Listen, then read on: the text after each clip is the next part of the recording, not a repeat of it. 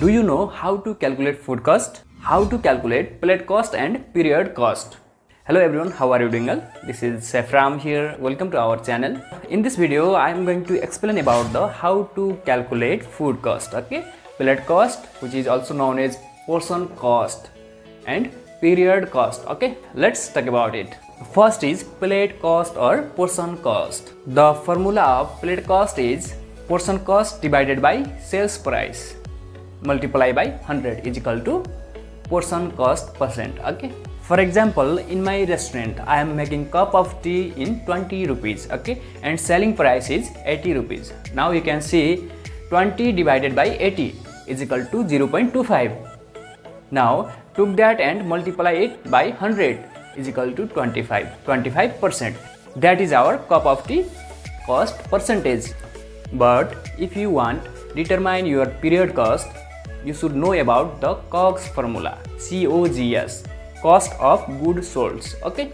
The formula of COGS is beginning inventory plus purchases minus ending inventory, which give us usage, which means how much food we use in this period. Okay.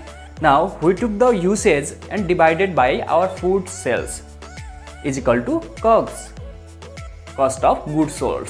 Now take the COGS and multiply it by 100 is equal to our COGS percentage, our food cost percentage. Okay.